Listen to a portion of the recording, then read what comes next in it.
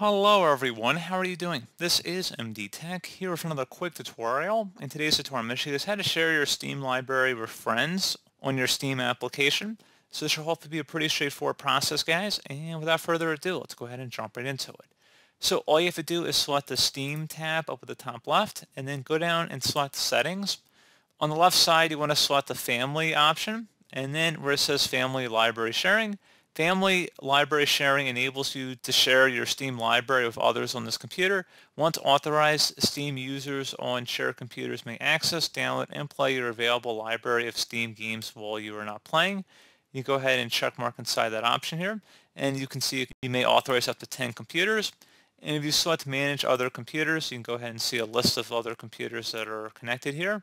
Pretty straightforward process, guys. I do hope I was able to help you out, and I do look forward to catching you all in the next tutorial. Goodbye.